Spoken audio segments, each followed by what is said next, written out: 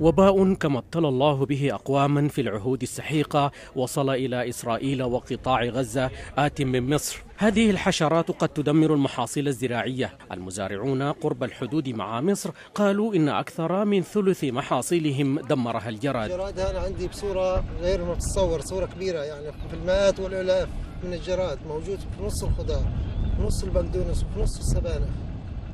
وصول هؤلاء الزوار غير المرحب بهم يصادف قبل ثلاثة أسابيع من عيد الفصح اليهودي حيث تتحدث التوراة عن عشرة أنواع من الأحداث المهلكة أحدها غزو الجراد ولكن اليوم التكنولوجيا تساعد في محاربتهم.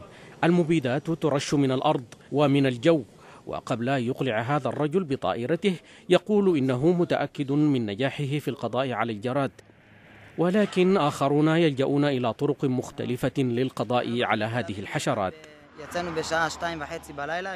أتينا خصيصا من تل أبيب ووصلنا الخامسة صباحا لجمعه لأن الجراد لا يطير في الليل ونحن نجمعه لنأكله فهو طعام مبارك في التوراة. لذا نجمعه ونضعه داخل الفرن ونتناوله مثل الرقائق المحمصة. سواء مقتولا أم مأكولا فلا يبدو أن لأسراب الجراد هذه مستقبل ولن يعرف حجم الأضرار التي ستخلفها إلا بعد إبادتها.